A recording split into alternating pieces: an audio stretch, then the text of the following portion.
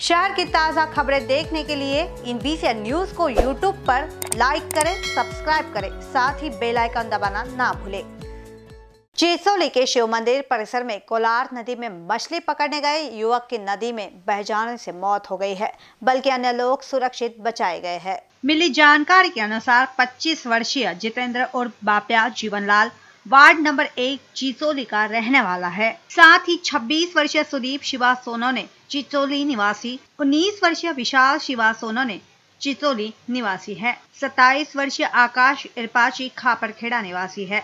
मनीष हुई के खापरखेड़ा निवासी और ऋतिक दुपारी खापरखेड़ा निवासी है। यह सभी मछली पकड़ने के लिए गए थे।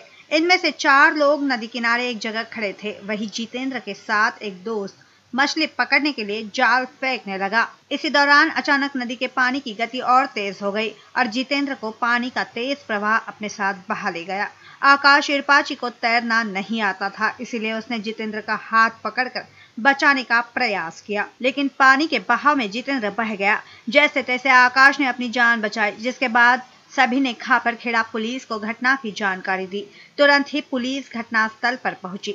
खापरखेड़ा थाने के पुलिस निरीक्षक चंद्रकांत काले, पुलिस उप निरीक्षक भावराव निमगड़े के मार्गदर्शन में टीम जितेंद्र की तलाश में जुट गई है। दूर दूर तक तलाश करने के बावजूद भी जितेंद्र का कहीं भी पता नहीं चल पाया, जिसके बाद पुलिस ने सावनेर के रेस्क्यू टीम के लिए तहसीलदार को फ़ोन किया और पटवारी मोहितकर को भी जानकारी दी। इस संबंध में थानेदार चंद्रकांत काले ने बताया कि खापरखेड़ा पुलिस, गोताखोर रेस्क्यू टीम द्वारा शोध कार्य जारी है।